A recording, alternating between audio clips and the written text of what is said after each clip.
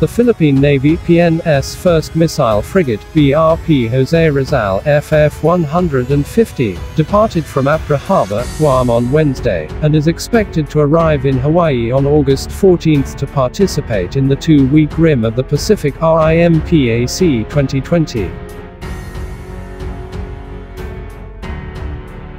Before we begin please like, share and subscribe to my channel, thank you. Manila, the Philippine Navy PNS First Missile Frigate, BRP Jose Rizal FF-150, departed from Apra Harbor, Guam on Wednesday, and is expected to arrive in Hawaii on August 14 to participate in the two-week Rim of the Pacific RIMPAC 2020.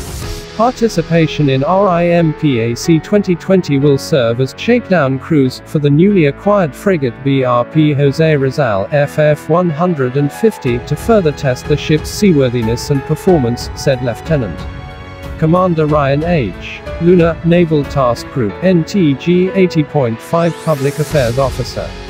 RIMPAC 2020 will run from August 17 to 31 off Honolulu, Hawaii, and is described as the world's largest joint and combined naval exercises held biennially.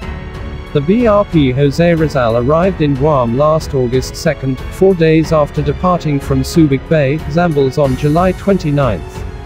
The NTG 80.5 is commanded by Captain Jerry Garrido Jr., the commanding officer of BRP Jose Rizal, and is complemented by surface, services, and support components.